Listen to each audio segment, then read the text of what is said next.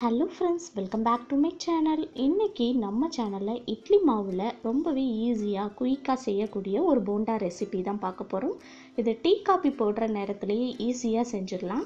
வாங்க ஃப்ரெண்ட்ஸ் எப்படி பண்ணுறதுன்னு பார்க்கலாம். நம்ம சேனலை நீங்கள் புதுசாக பார்க்குறீங்கன்னா சப்ஸ்கிரைப் பண்ணலன்னா சப்ஸ்கிரைப் பண்ணிக்கோங்க. பக்கத்தில் உள்ள நோட்டிஃபிகேஷன் பெல் ஐக்கானை கிளிக் பண்ணிக்கோங்க.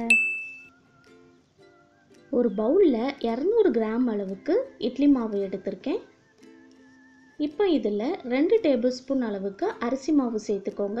கூடவே ரெண்டு டேபிள் ஸ்பூன் அளவுக்கு ரவை. தேவையான அளவுக்கு உப்பு. கூடவே ஒரு பெரிய வெங்காயத்தை நல்லா பொடியாக நறுக்கி சேர்த்துக்கோங்க.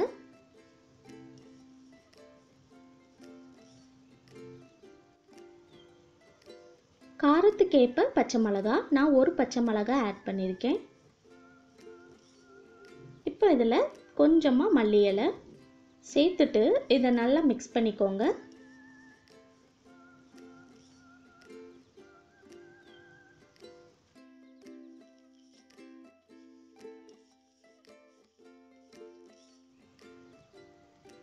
கடாயில் பொரிக்கிறதுக்கு தேவையான அளவுக்கு எண்ணெய் சேர்த்துக்கோங்க.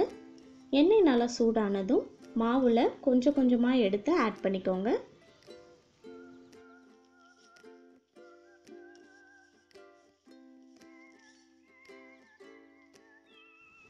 இது நல்லா கோல்டன் ப்ரௌன் கலரில் வரணும். அது வரைக்கும் இதை நல்லா ஃப்ரை பண்ணிக்கோங்க.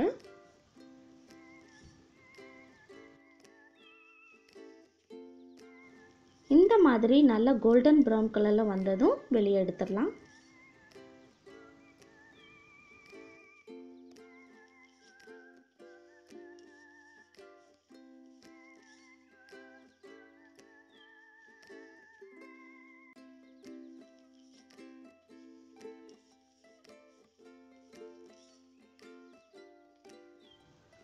அவ்வளோதான் ஃப்ரெண்ட்ஸ் நம்ம டேஸ்டியான மொறு மொறு போண்டா ரெடி ஆயிடுச்சு இது ரொம்பவே ஈஸியாக செஞ்சிடலாம். செஞ்சு பாருங்கள் செஞ்சு பார்த்தீங்கன்னா உங்களுடைய ஃபீட்பேக்கை கமெண்ட் பண்ணுங்கள் இந்த வீடியோ உங்களுக்கு பிடிச்சிருந்துச்சுன்னா லைக் பண்ணுங்கள் உங்கள் ஃப்ரெண்ட்ஸ் அண்ட் ஃபேமிலி மெம்பர்ஸ் கூட ஷேர் பண்ணுங்கள் நம்ம சேனலை சப்ஸ்கிரைப் பண்ணலன்னா சப்ஸ்கிரைப் பண்ணிக்கோங்க.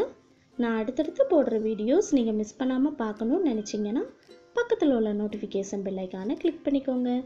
Thank you